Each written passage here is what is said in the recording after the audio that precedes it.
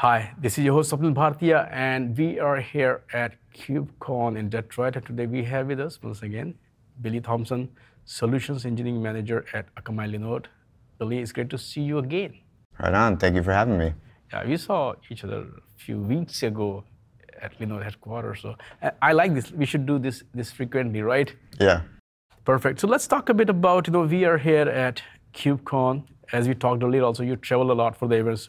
Talk a bit about what has been your experience here at the event. So this is actually my third KubeCon.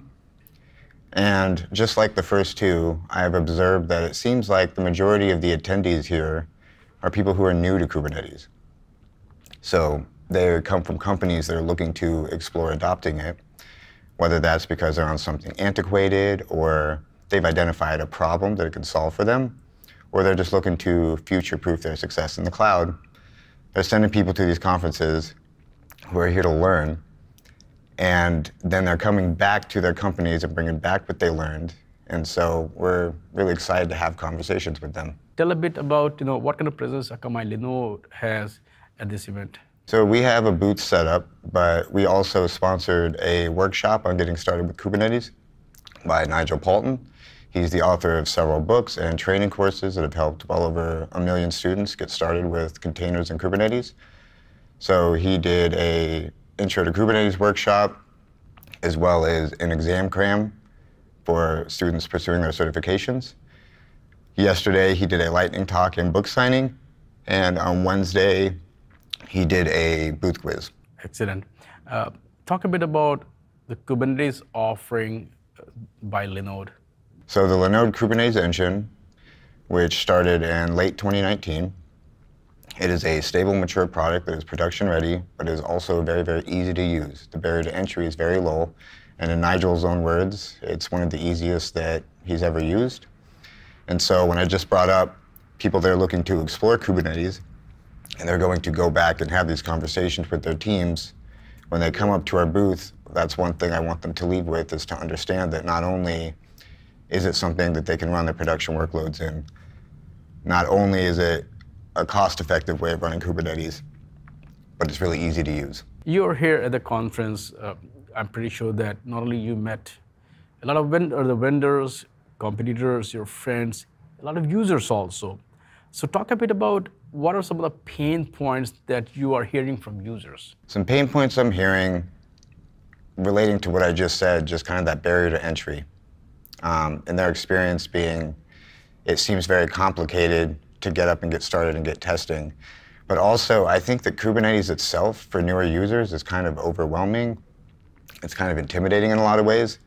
And I think why that is, is because I think a lot of training material kind of starts with the core of how it works. You know, when you bootstrap a Kubernetes cluster, there's this explosion of things that happens, you know, and then the kubelet and the kube API server and trying to follow along and follow the flow of data and stuff. And it seems like a lot at first. But what I tell people is that start small, start using it, and I think that you'll start to figure out that when it comes down to it, you know, if you're managing it yourself, even if you're managing it yourself, the point is, is that it's an orchestration engine. It does these things for you. A lot of really, really smart developers donated a lot of time to do that. So once you start using it, it becomes more clear that, oh, this isn't that bad to use actually. Like it boils down to, I define what I want in some YAML manifest, I feed it, and it gives me my desired results.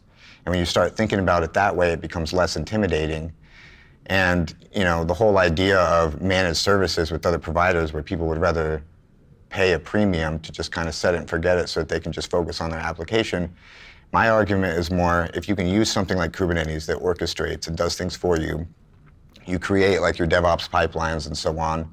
And once those are down, you know, you tweak them here and there, but for the most part, you have something that manages your infrastructure. You have the layers of abstraction the networking, and you can still do that, that whole just focus on your application. And Kubernetes helps enables that. And so I think that's a pain point is people aren't realizing that and they're feeling intimidated, but they just know that this is something they need to do. And I'm just kind of like, calm down it'll be okay. Like, just give it a shot, start small, it'll unroll itself. I don't necessarily think it's more difficult to learn. I just think it's something new to learn. That is, you know, basically the, the pain point. And if you go and walk in the booth here, you'll see so many logos, so many vendors, which also good because the ecosystem is rich, but which also makes it difficult for the user because you know they have too much to. Cho- I mean, sometimes choice is good, sometimes choice is not good. That's when managed services come at play because they don't really have to worry about all that complexity. Talk a bit about you talked about your Linode sorry, your Kubernetes offering is mature. Is it production ready? If it is, then you know once again how you make it easier for things. How like you talked about pain point, right? To address those pain point, and uh, what makes it production ready as well. So the simplicity, right? Just like our other products, we have a web UI we call the Cloud Manager. You can easily deploy that there, define your different node pools and so on.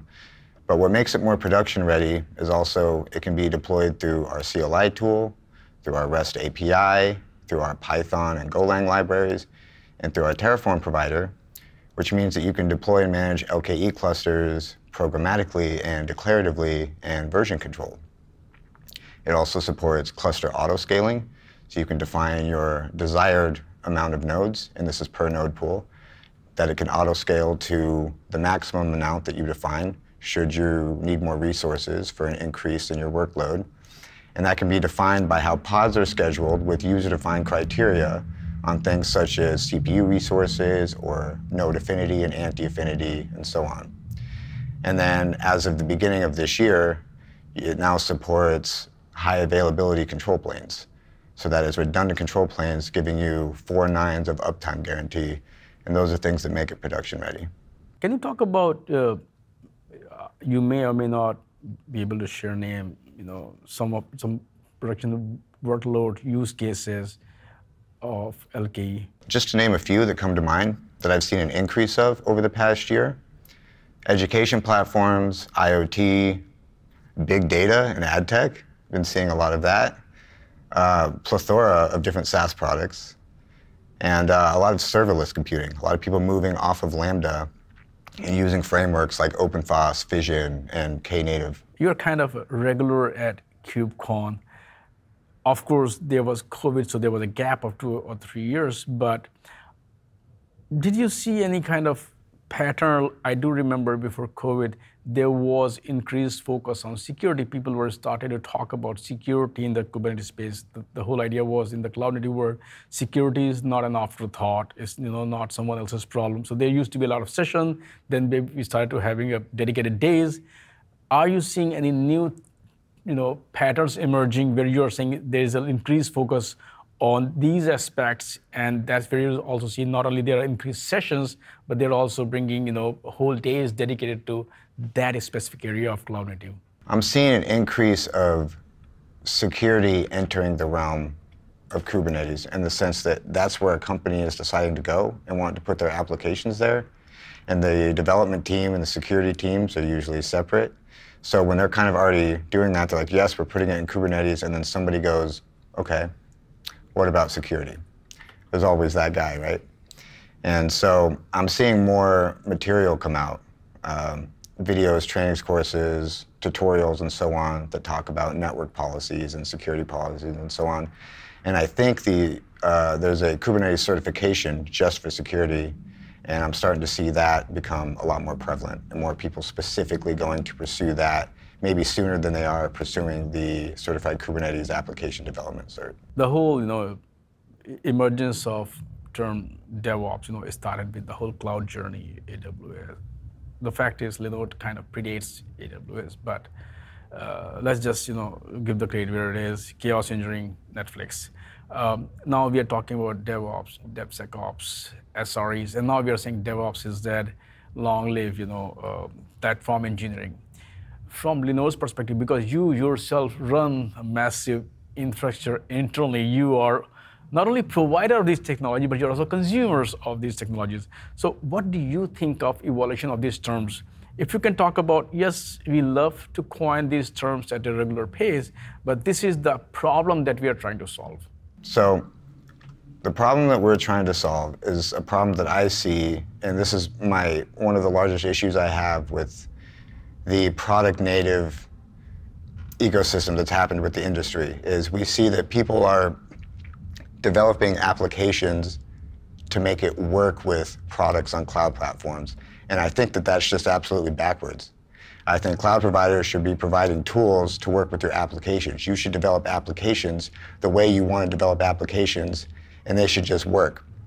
So what we do is we provide a way that you have total control over that. You have control, total, total control of how it works, the security of it, so on. That control stays within your hands. You see the whole life cycle of it, and we're just a platform that empowers that, that flexibility, that portability. There's nothing that you have to change about it to make it work with us.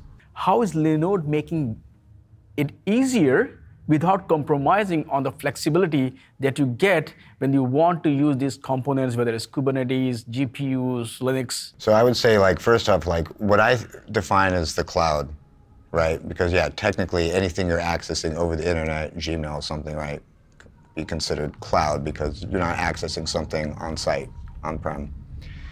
But what I think of with cloud computing are on demand resources, right? So on demand compute, storage, DNS, things like that, that are easy to scale, that can be ephemeral, that can be programmatically managed, right? Declarative, that can be version controlled and so on. Like that's really the advantage of the cloud and the ability to scale and the cost effectiveness of it. But then where this becomes a big problem with the hyperscalers that not only make that really expensive, I've been seeing articles about how people are leaving the so-called cloud because of their experiences on the hyperscalers, and they're realizing, wait a minute, this is actually more expensive than it was when we were co-locating in a data center. So they got the advantage of being able to scale very easy, but they didn't get the cost benefits of it that the cloud promised. And then there's the complexity part of it, where companies are trying to hire but they, they can't just get a DevOps engineer. They need to get an AWS certified DevOps engineer.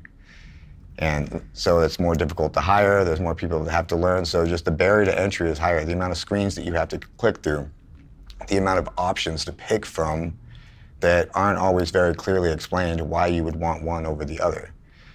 So what we do at Linode is we just simplify the process. We have affordable pricing. It's flat. It doesn't change with what region in the world you deploy it in and take like block storage, for example, on other providers, they may give you 11 different options. This one's throughput optimized, this one's IOPS optimized, this one's this and that. And which one do I pick? Where do I start? This is complex. We just give everyone the same lightning fast NVMe block storage. It's simple, it's easy to use. So by lowering that barrier to entry, we are empowering more people to actually get the benefits of those on-demand resources that the cloud has to offer. Billy, Thank you so much for taking time out today and talk about your presence here and also talk about some of the pain points that folks are facing because you know the fact is that you folks predate a lot of this cloud native world that we are seeing here. And you have been helping customers not only where they are in their journey but also who they are. They can be you know big you know tech company or individuals who just want to run a local shop, but they want a web presence. So thanks for sharing those insights. Thanks for making things easier and simpler for folks. And as usual, I'd love to talk to you again. Thank you. All right. Thank you for having me.